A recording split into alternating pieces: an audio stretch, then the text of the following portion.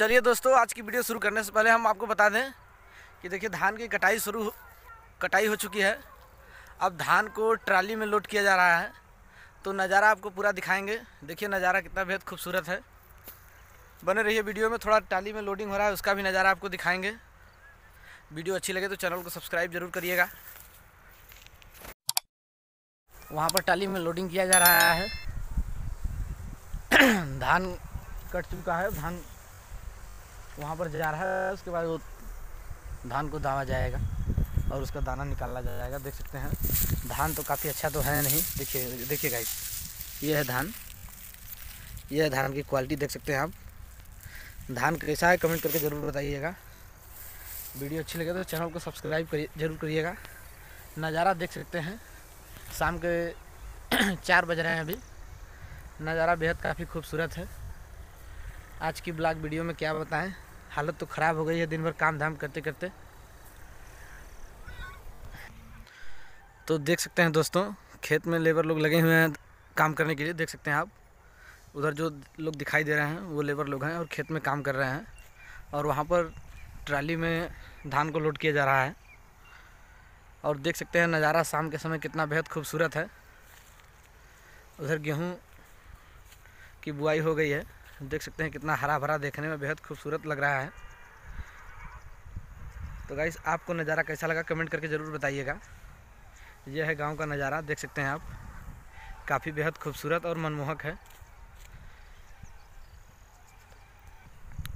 तो गाइस देख सकते हैं चारों तरफ़ खेत में काम लगा हुआ है, देखिए। उधर भी एक लोग हैं, काम कर रहे हैं और सूरज ढलने वाला है अभी। देखिए गाइस इधर थोड़ा अंधेरा टाइप आ रहा है। उधर कुछ फ़सल अभी खड़ी है, अभी कटा नहीं है, वो भी कट जाएगा कुछ दिनों में।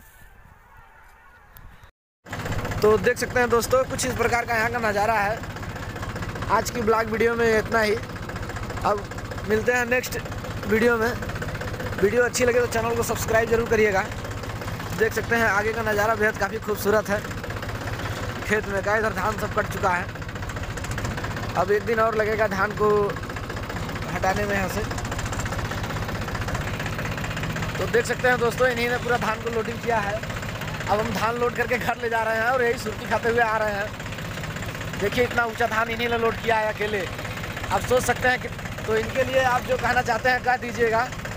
और इनके लिए एक लाइक तो बनता है भाई। देखिए काफ़ी मेहनत करके इतना धान को अकेले लोड किए हैं, देख सकते हैं आप। और मैं उठाया हूँ। देख सकते हैं दोस्तों, कितना ऊँचा खाला रास्ता है। और इस रास्ते पर ट्रैक्टर लेकर और इतना ज़्यादा ओवरलोड लेकर चलना काफ़ी मुश्किल होता है भाइयों। तो देख सकते हैं कितना चैलेंज चैलेंजिंग है ट्रैक्टर को यहाँ से ले जाना और हम लेकर जा रहे हैं। आप देख सकते हैं कि वो बढ़िया कहाँ से जाने वाला है। लगभग हमारे हिसाब से तो ठीक ही जा रहा है। तो गाइस देख सकते हैं आप कितना चैलेंजिंग है यहाँ से ट्रैक्टर को लेकर जाना। देखिए। तो दोस्तों, उम्मीद करते हैं वीडियो आपको काफ़ी अच्छी लगेगी। तो एक किसान के लिए एक लाइक तो बनता है भाई। लाइक और चैनल को सब्सक्राइब करके ही जाइएगा। आप देख सकते हैं कितना धीरे धीरे दो नंबर के लो में ट्रैक्टर को ले जाना पड़ता है। और काफ़ी धीरे धीरे चलाना पड़ता है। देख सकते हैं गाइस कितना ऊँचा खाला है और टाली का पूरा बैलेंस आप देखिए। तो दोस्तों, देख सकते हैं, धान फाइनली लोडिंग हो रहा है हम लेकर जा रहे हैं ट्रैक्टर आप देख सकते हैं दोस्तों। अब हम चल रहे हैं घर की तरफ़। आप देख सकते हैं दोस्तों, कितना बेहद खूबसूरत नज़ारा देखने में लग रहा है। और काफ़ी ऊंचाई तक देखिए धान की लोडिंग हो चुकी है। और हम इसे लेकर घर की तरफ़ चल रहे हैं। तो दोस्तों, काफ़ी मेहनत लगता है धान को उतना ऊपर लोडिंग करने में। तो दोस्तों, अगर वीडियो अच्छी लगे तो चैनल को सब्सक्राइब ज़रूर करिएगा। वीडियो को लाइक कीजिएगा और ज़्यादा से ज़्यादा शेयर भी कीजिएगा।